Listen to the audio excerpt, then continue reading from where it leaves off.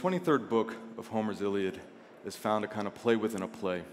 It's a war within the Trojan War. It's the first recorded boxing match of Western literature. The first place prize was an untamed mule. And fast forward a few thousand years to this past May 2nd, and over the course of 47 minutes, the US economy experienced a flash crash of hundreds of millions of dollars that went virtually unnoticed because it came under the guise of a sporting event. A 12 round euphemism for dashed expectations to live up to hype known as Mayweather versus Pacquiao. Now, how much humanity has evolved from the time of Homer to today, that's a matter of debate.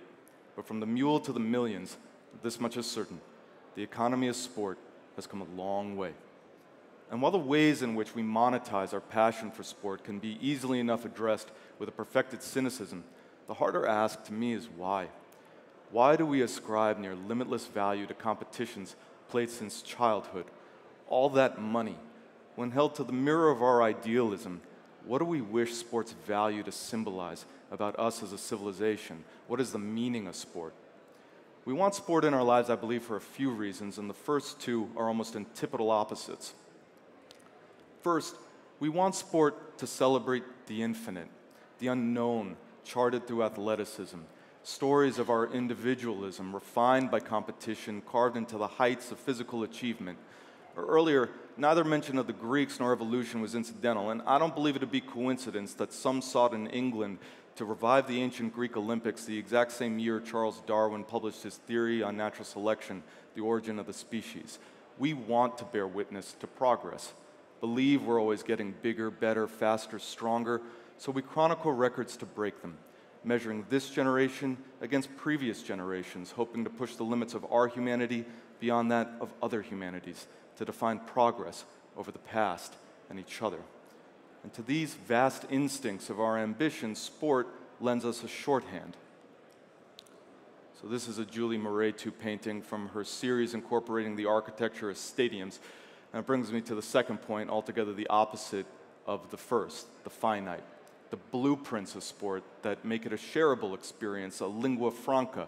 We want rules of the game in which we all can participate, all can distinguish ourselves, or at the very least, admire those who do.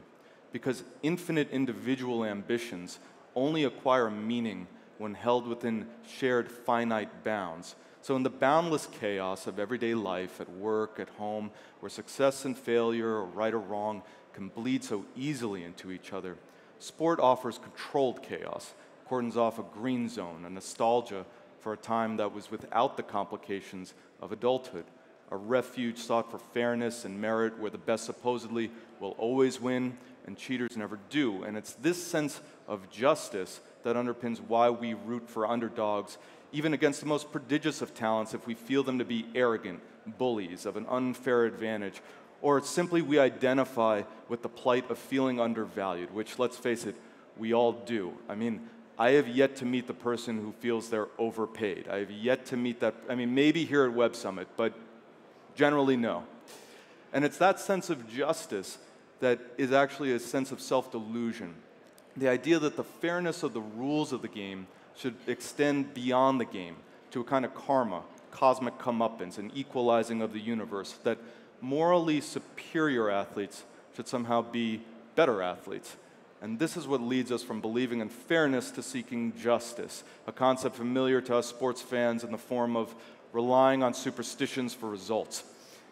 As the writer Saul Bellow once said, a great deal of intelligence can be invested in ignorance when the need for illusion is deep. But it's these shared experiences of sport that make them shared languages of athleticism, able to transcend race, class, ideology, democratizing our humanity. And in that finite vocabulary, we learn as children of fairness and ethics, which elicits authenticity from within competition and character from within ourselves, because greatness is more than talent. Greatness is how individuals choose to confront moments of adversity or crisis, and the collection of those moments form a constellation illuminating our own ideals. But in essence, if you truly wish to know the code of ethics by which a nation lives, just watch how their children play sports. Or their parents, for that matter. And this is a father whose son lost a wrestling match, who then accosted the kid who defeated his son and picked him up and hurled him across the room. And I've deliberately tried to pick a pixelated image here, so hopefully you can't tell what nation this took place in. In these ways, what we find for our morality is that sports form a kind of origin story. And here's another. The word sport comes from the French desporter, which translates literally as to carry away. But the meaning isn't literal, it's figurative. The idea that sports carries us away mentally, spiritually, from the worries and stress of everyday life. So the meaning of the word is a metaphor, and metaphors are, in a sense, the shortest stories words can tell. And as children, our brains are wired to synthesize complex process through the broad analogy of experience, just as we do um, movement by watching other people. And as children, stories ingrain morals and catalyze our imaginations. And sports are short stories in which children participate as characters to these same ends. Their rules ingraining morals, and their victories or defeats catalyzing our aspirations to go far beyond the sphere of sport itself. Akin to stories, sports are metaphors writ large, shortcuts to experience, laboratories in which to simulate the real world, inspiring ambitions, instilling ethics, inverting viewpoints. And it's one of the reasons why we love sports so much is for the stories that they tell us. And like so many successful storytelling techniques or technological advances, sports are a system in which upended expectations are by far what also most exceeds them. At their best, sports are what philosopher Nassim Taleb refers to as anti fragile. The idea that volatility, usually solely devastating, can actually make some systems more beautiful, powerful, gratifying. Now, I probably sound like an optimist, and I am, but not everything about sports is positive. And they ask us to stake our loyalty with a nation, city, school, and while not inherently a bad thing, that can lead to diminishing, narrowing our tolerance, empathy, individualism.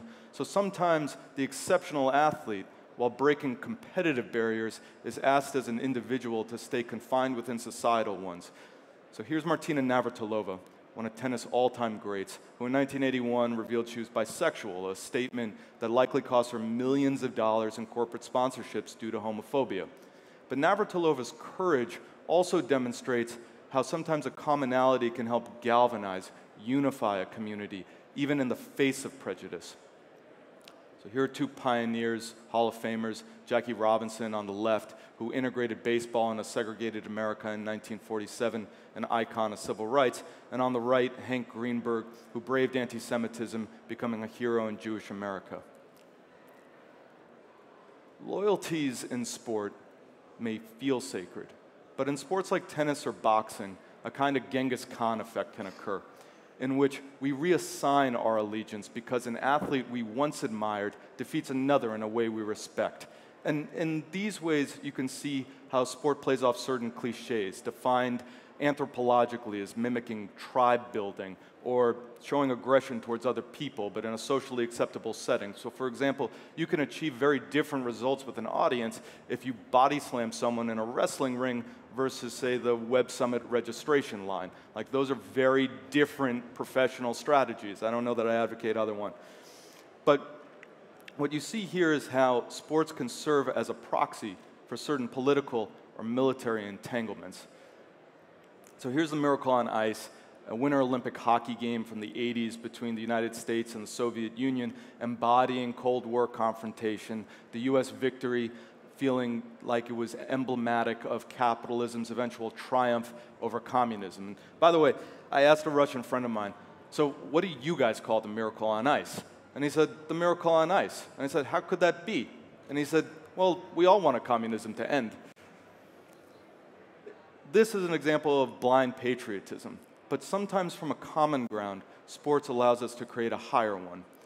So on the right here is King Hsinbyushin of Burma, who invaded Thailand in 1774, and on the left, Nai Khanom Tom, one of the best kickboxers, who was one of his prisoners of war. And the king challenged Nai Khanom Tom to defeat his best Burmese kickboxer in exchange for the liberation of all the Thai people, which the prisoner of war did. The monarch, not fully satisfied, asked him to defeat nine more, which he did consecutively. And finally, the king relented and kept his word and liberated all his prisoners of war. That was the birth of Muay Thai. Syrian children, refugees, hosted in a Youth World Cup by the International Rescue Committee, a humanitarian nonprofit for the aid of displaced peoples. Cricket diplomacy, the World Cup between India and Pakistan, which was thought to have eased tensions between those two nations after the Mumbai bombings. Usually, cops and kids in gang ridden America don't see each other as family. But Kevin Cunningham on the far right here, whom I once had um, a time covering as a journalist, was able to bridge that gap in one of the worst areas of St. Louis by creating a police athletic league boxing team.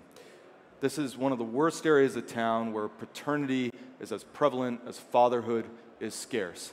And these kids came to see Kevin as their father, and he saw them as his sons. And while gangs still lured many of these kids in, many of these innocent faces have now either been murdered or incarcerated, a few of them found a better path. And those who did credit Kevin for their lives today. The infinite and the finite. One celebrates individualism and the other levels it.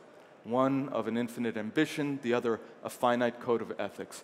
And so, as humans push to become greater than each other and our predecessors, we resort to bending, breaking the rules, and the polarities of ambition and ethics are seen to pull each other apart, as we now see playing out in the conversation about performance enhancing drugs or the injustices celebrities are sometimes afforded to indulge.